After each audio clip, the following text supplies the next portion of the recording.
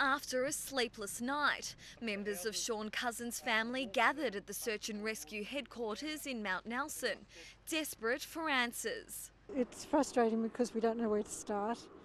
We can only presume it's the local area, and that's what we're concentrating on. His mother at a loss as to what may have happened to her beloved son, missing since Monday morning. He's a really warm person. He's he's always looking out for other people. He loves his family.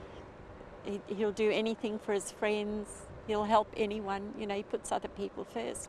It's so out of character for him. She formed part of the volunteer crew who today trekked through bushland alongside police and SES, searching high and low for the 43 year old. Concentrating around the houses and in, in, in about a 300 metre radius today or this morning, and then this afternoon we're going to broaden that search and go further afield, further south, and further into the Hobart area. Our main concern is that um, any any sort of things may have happened to him. Uh, he may be injured, and that we locate him as soon as possible. The loving father of two was last seen at his Nelson Road home on Sunday night. In the morning, they woke and found he was gone.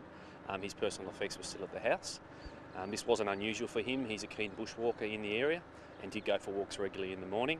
The alarm was raised when he failed to return later that morning. Sean is also heavily involved in Hobart's musical theatre scene. He's currently performing in Jesus Christ Superstar here at the Theatre Royal and is supposed to take to the stage as a member of the ensemble tonight. Anyone with information is urged to contact police, who at this stage have ruled out suspicious circumstances. Elizabeth Anile, Win News.